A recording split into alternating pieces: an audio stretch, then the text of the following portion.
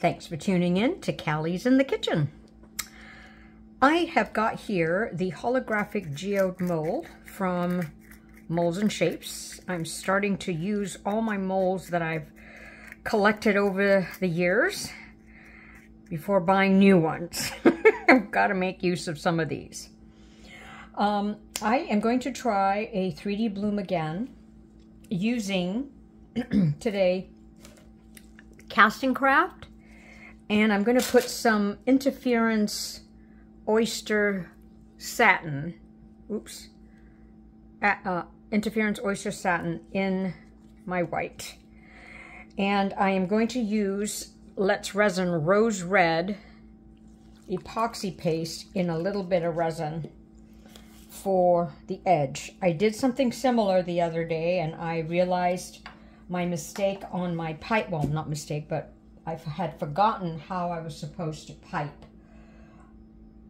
No, not pipe, sorry, how to draw the petals. So I'm doing two things at once, so excuse me. I'm putting out my resin for my edge.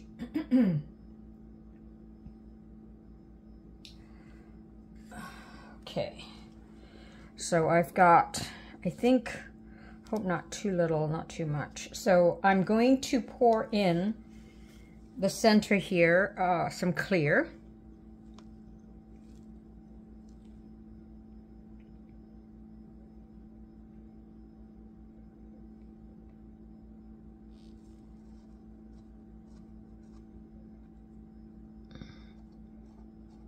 I'll put aside some for my white.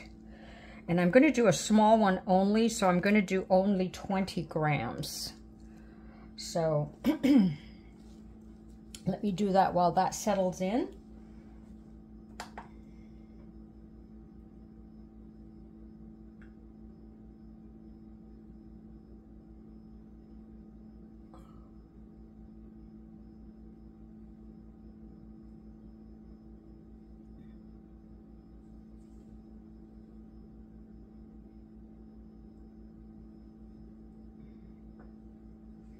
That took a while. I'm not sure why. Um, it looks like I still have a little bit of layer left, so I'm going to put in a little bit more.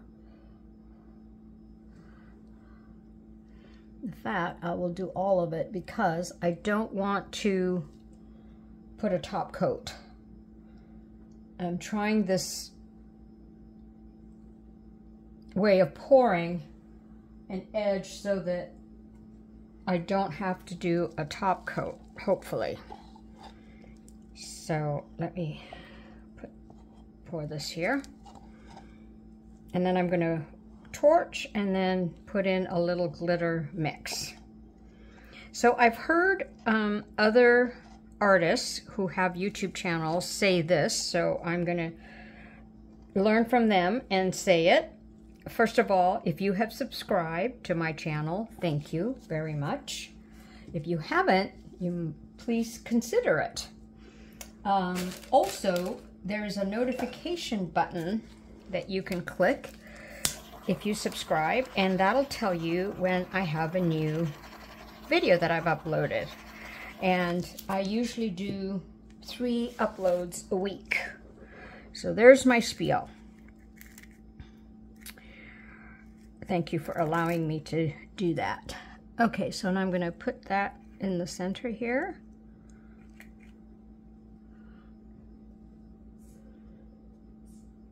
Hopefully this glitter mix will go, excuse me, um, with the color that I've chosen for my edge. Okay.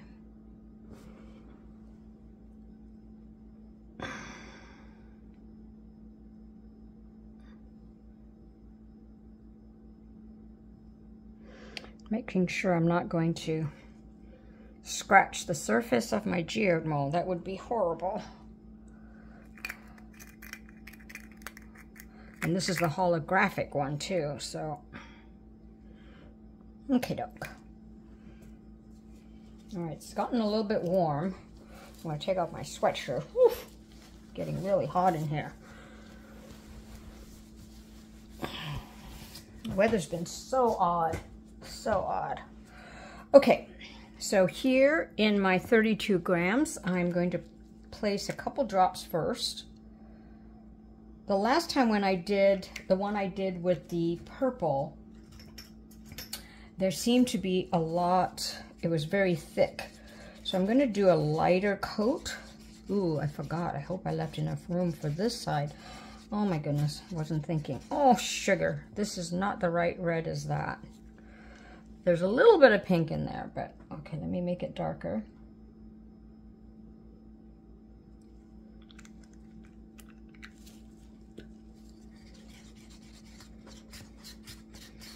trouble is my my glitters and crushed glass and all that is in the garage and so I usually pick what I'm going to use first so I don't want this to be too thick but it's not quite dark enough so I'm going to do one more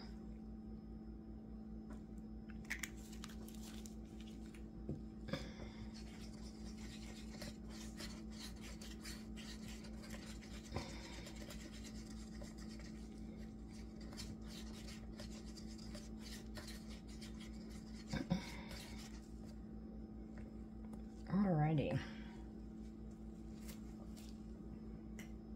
Now I'm going to do the edge as carefully as I can.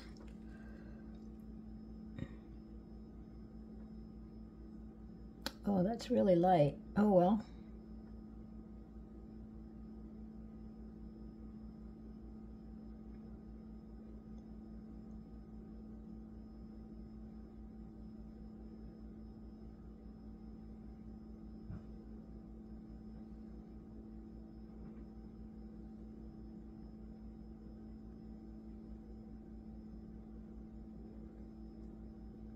I'm making sure that my first go around, oh, I see some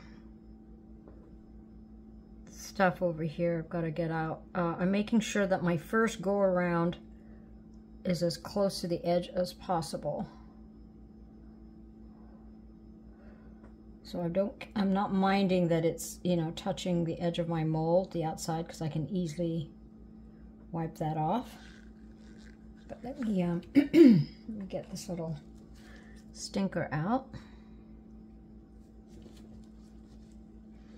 Okay. So I will use the rest of this now.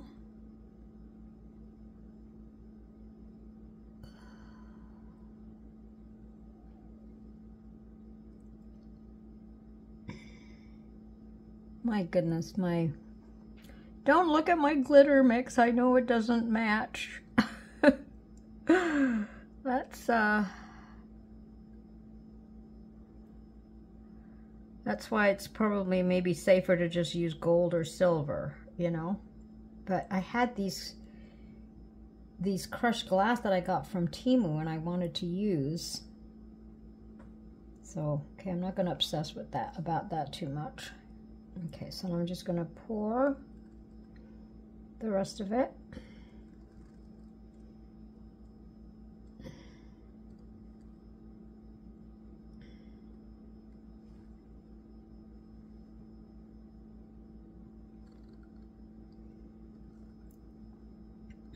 Some parts don't look as even, but that's okay. But that's pretty cool, um, 32 ounce, I think, because like in the purple, I was really worried that I didn't have a lot, you know, coming through, but man, it did. Okay, here I go. So on the Castincraft, I'm going to do four drops. Because remember, um, I was on this new kick where I doubled up my Mm, it's not coming out. Oh, stinker. I'm gonna have to get a little pin, so sorry. But that, that'll give time for that to come in, hopefully.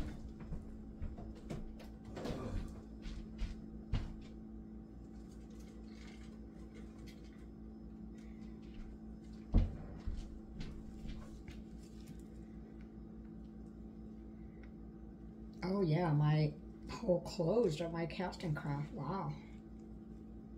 Okay, I'm going to have to cut, uh, cut another piece off.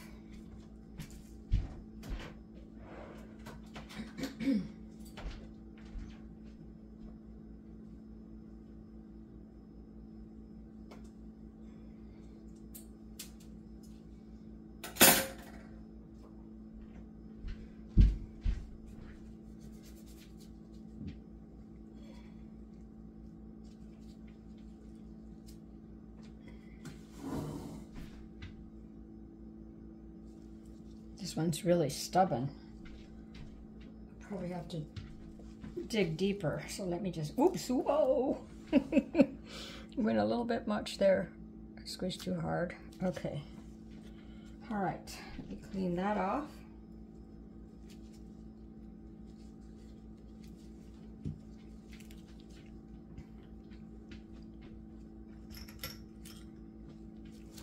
Stir it up.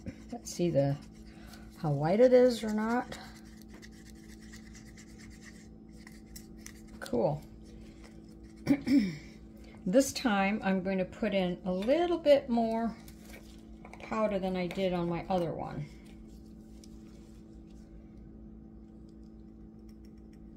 About that much.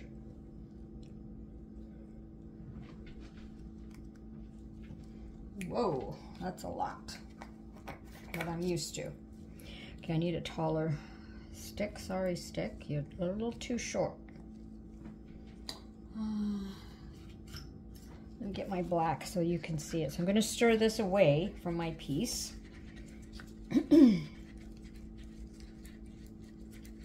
Ooh, it's nice and really, really thick. Just really interesting. So.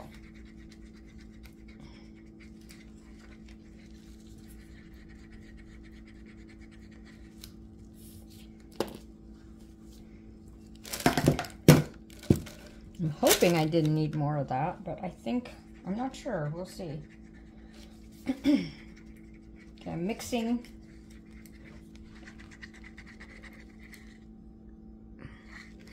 Don't quite see the shine or the shimmer of the interference oyster satin too much, but that's okay. I don't want to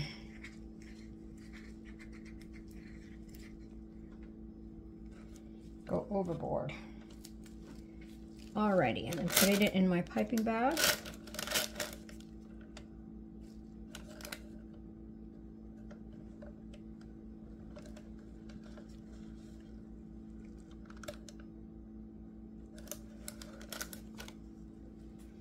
Tie it up.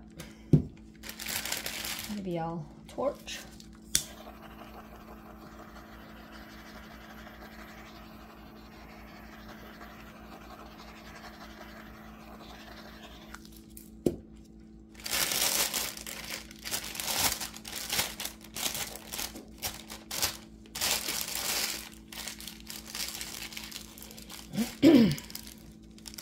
Go together, right? Yeah. I'm going to say so. Okay.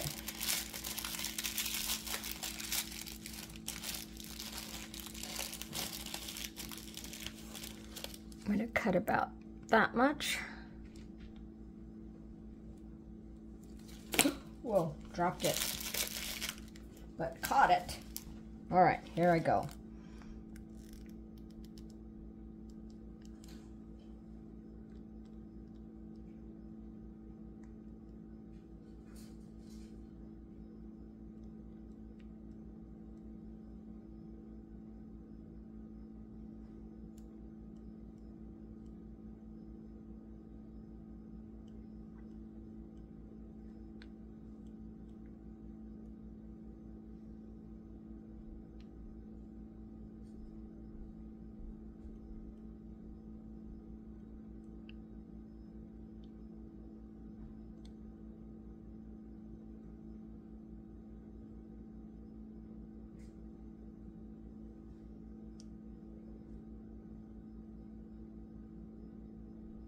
Yes, I'm giving you the silent treatment.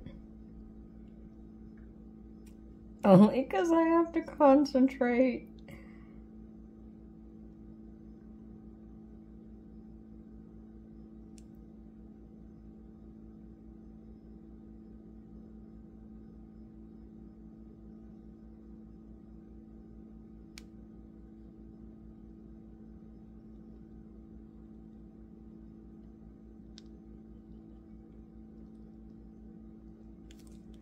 Need to reposition my hand.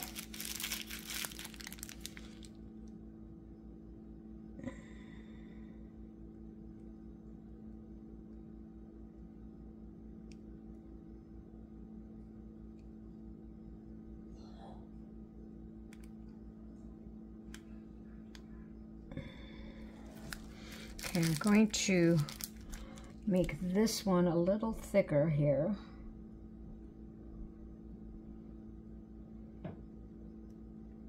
Not sure if thicker or wider is the right term. term.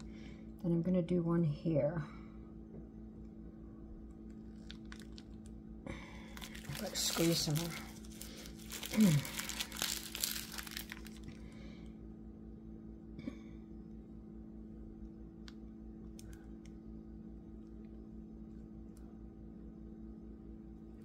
Okay. now, this is what I did, didn't do correctly last time. So you, I'm supposed to take it in from out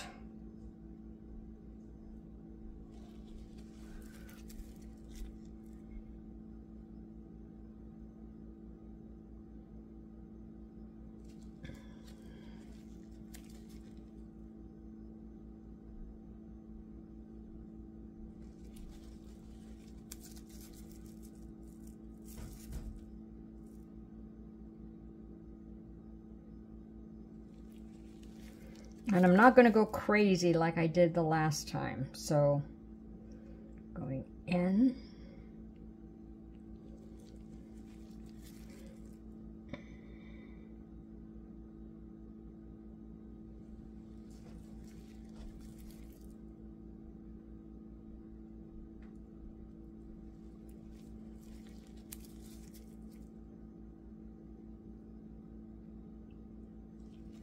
And then on each of them, I'm going to go out. And this one, I'm going to go out from just here.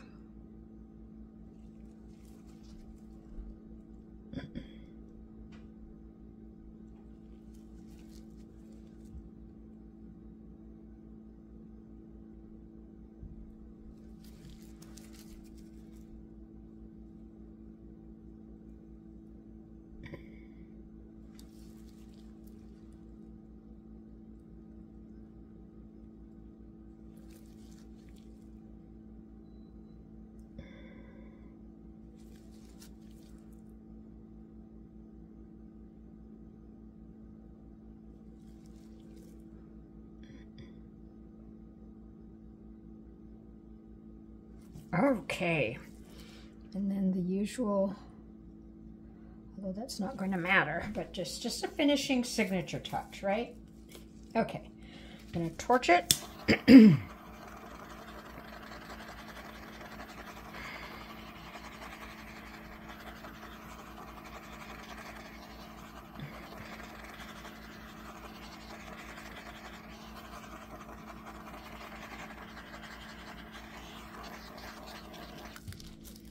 and I will see you for the unmolding.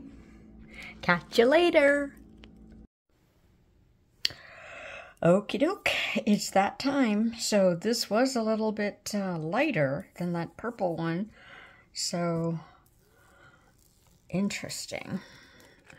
Okay, let's see. I should bring a black piece behind me here. I think I will. Hold on one second.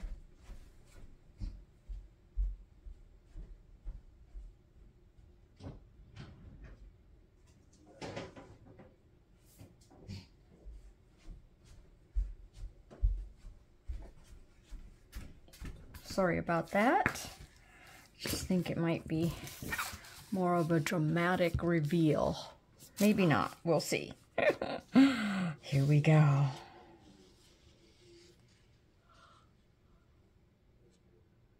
Oh, very cool. Oh, wow. I think it's better on the, um, maybe on the white. Yeah. So it's kind of pinkish.